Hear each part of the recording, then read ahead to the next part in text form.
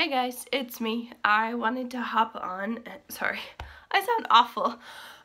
I've been sick for three weeks and it's just not going away. Um, but I really wanted to do this video right now and kind of talk about, I know, well, I've gotten mostly positive comments and different things on my hair, which I don't need comments, I don't need any of those things, and I'm not doing any of this for attention. It's been really nice to hear the positive things, but I've also gotten some negative responses and just questions about why I shaved my head. So I wanted to, I did actually record myself shaving my head, but I was just kind of blabbing and I wasn't thinking about what I was saying, so I said things that weren't completely clear or completely accurate. So I decided not to post that. Sorry. And I wanted to jump on and make a video at that time anyways, a few days after I'd shaved my head just to kind of explain what's been going on, how it's been going. So firstly, how it's been going, um, it's been terrifying, honestly. Shaving my head has been huge. I wore a toque the first day because I was so self-conscious and I just couldn't do it. Even though I had taken the step to shave my head, I'm still human and it was terrifying. And even though I'd posted on Facebook, I was like, what will my peers think? What will, there were certain people in my life that was like, what the heck are they gonna think? And I don't wanna have those conversations with people. Which again, most of the responses, 99% of the response has been positive, but there have been a few people that it's been a little more negative or questioning why or think I'm over the top, which I understand where you're coming from. I get it. Why do this? Is it for attention? Do I need a friend? Do am I just a crazy weirdo?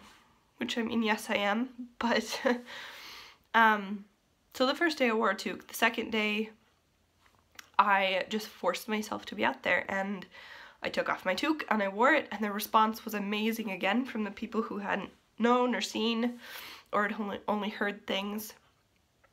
And it's been really helpful but I've still struggled because like I said my hair was something I hid behind. It was something now I stand out. Like I walk down the hall in college and I actually don't look at people because I'm still too scared to at this point to see, you know, what their expression is because I've noticed people, females who have shaved their heads and I've kind of been like, whoa, and it draws attention and I don't like being the center of attention in that way. There are things, like if I'm on stage singing, by all means, like attention in a good, healthy, positive way, but attention isn't shaving my head. Look at me, I'm doing this for attention, to get people to feel sorry for me or what's wrong or just to draw attention to myself, that's not it at all. I don't like that kind of attention, actually. I really don't. Um, I have no problem explaining, I just don't like the, oh my goodness, what did you do? Or that girl looks really weird kind of attention. So it's been really difficult, and I did wear a wig because I had something to go to one day, which was fun. Excuse me, it was fun. Um, and I think I might wear wigs once in a while just for fun, but not to cover up and not to hide. I don't want to do that. I'm not saying I won't because I'm human and I'll have my insecure days, but even wearing a wig, because people can tell it's a wig sometimes, that draws attention. And then they wonder, who are you? What the heck? Why? What's your problem? Um, but I just want to have fun with it. And on a positive, extremely happy note, I may post a picture, but my hair, I was running my hand over it and I was like, it feels thick. I'm like, no, it's just my mind telling me that it's growing already and thicker and longer, but it actually is. I took a picture, I sent it to my mom, and I was like, seriously, look at the difference. It's only been five days and it's already grown, which one of the reasons, here, I'll get into this, this is my first reason. One of the reasons I shaved my head was for a personal ex experiment um, to see how fast my hair grew, uh, how it would do without heating tools, so I'm not gonna use heating um, styling tools on it anymore. I do a very natural hair routine now, which I've transitioned into a little bit. but now it'll kind of help it with it being this short. You won't notice the transition as much because it's so short. So I kind of want to experiment and see how my hair does just being natural and with it being more healthy. And also with me, I eat a lot healthier than I did a year ago or two years ago.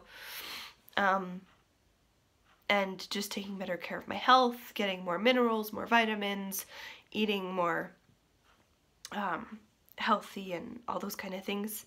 So it's just, it's, for one aspect, it's an experiment for me because I'm a curious person and I like experiments. This one was kind of crazy. Do I do these kind? No, not very often, not really. I've never done something like this. It's terrifying and I am scared. I'm not a huge fan of the look. It's not bad. It's just not my style. But it's hair. It will grow. It's not a big deal. Another thing I have noticed, which I didn't shave my head for this reason, but so many women that I've talked to are like, oh, I wish I could do that, or now you're making me want to do that, or I wish I had the courage. It is terrifying, and you don't have to do it. There's nothing that says you ever have to. But why do we as females place so much emphasis on our hair. It shouldn't matter. It is hair. It will grow back. And just because we shave our head doesn't mean we're going off the deep end or we're crazy. It's literally just hair. And so I've also had that thought over this process. Um, another reason I wanted to do this was because I have had poor health for all 27 years of my life. But the last six seven years have been really, really bad. And it has shown in my hair. I used to have long hair that was really nice. Um, not nice in the way like it was perfect, but it was nice. It was fairly full. It, it's never been super thick, but it was fairly full. It was super long. I wanted to donate it, which I did, which was something else I did in my life, which I'm grateful for. Um, and I just noticed that my hair was fragile, it was breaking, I was losing it, and I was tired of finding it all over the floor, in my bedding. Josh would complain when he'd find it on his thumb, wrapped around his fingers, in the bathtub, in food. It was disgusting. And it looked awful. It was very hard to upkeep.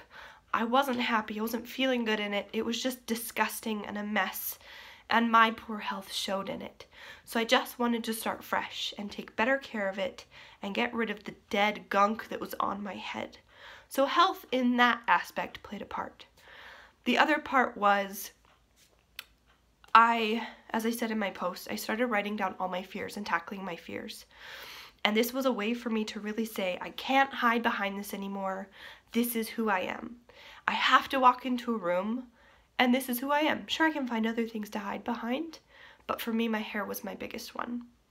And I want to become a better person. I want to get over my fears, or I at least want to face them, even if I never completely get over them. And this was one of those ways, was to say, strip this back. Now I can't hide. Take me for who I am, and if you don't like it, that's okay. You can walk away. And I can heal from that, and I can move on.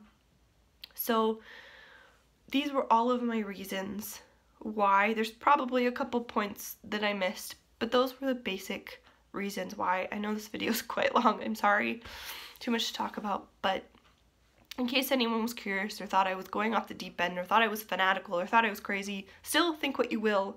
It's your place to judge as you will. But I don't want to judge others and I want to share my experience. I share openly because I believe when we share, we learn. And the first talk in the women's session of General Conference actually explained exactly what I've been trying to do for the past couple years. I believe openness and honesty. Honesty is the biggest thing that I think is important. If you can't be honest with me and I can't be honest with you, it won't work. And if when people aren't honest with me, that's what hurts me the absolute most and sharing with you that I'm struggling, that I'm terrified, that I'm still insecure walking around like this. I feel weird and like I'm trying to draw attention to myself, though I'm not. But being open and sharing that, there's other people going through that, just like I am. Other people who want to face their fears but don't know where to turn. And I'm not trying to be an inspiration, in a way of, oh, look at me. But if I can help anyone, I want to. And I know I need so much help in my life, and I have for so many years. I hope that something I share can be that for someone else. And I just want everyone to know that it's okay to be human because I have struggled with being trying to be perfect and feeling like I was doing everything wrong, feeling like it was always my fault and I had to do better and I couldn't be who I was for so long that I want to share that it's okay. And it's okay to be afraid and insecure and to do things you regret and to move on and to find yourself brand new or find yourself again. And don't let other people take that away from you because it's not worth it. And don't take that away from yourself because that's only surviving in life. That's not living. And I am personally tired of just surviving in life. I want to live. And facing my fears is a first step on that path or a next step. I've taken a lot of first steps, so this is the next step. And I just wanted to share that with you guys, kind of clarify for anyone who was wondering, any skeptics out there, you can still judge me. Do you know what? That's your problem, your business. That has nothing to do with me, honestly. The people who are judging, it's all about them, not the person they're judging or the, the things they're judging. And I am learning that. And I'm learning to try and just be brave, even though I'm scared. And that's the end of this long spiel video. Thank you for watching and Thanks for being so supportive. It means so much. I don't need it to thrive, but I appreciate it so much. So thank you. I love you guys.